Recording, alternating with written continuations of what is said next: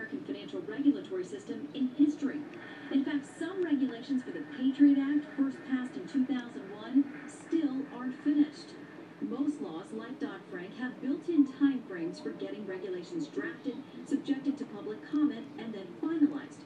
But those markers aren't always met. It's hard to tell because a lot of these rules were going to be rolled out one after the other, and there were deadlines for some of them. And I know we've missed a lot of deadlines on both fronts of, of, uh, of rules that were going to have to be deadline. So it's really hard to tell. Meanwhile, businesses are left in a holding pattern, unsure of how to move forward until they know how they'll be impacted. Dan Danner of the National Federation of Independent Businesses says small businesses, which operate on very tight margins, are especially worried about the unknown.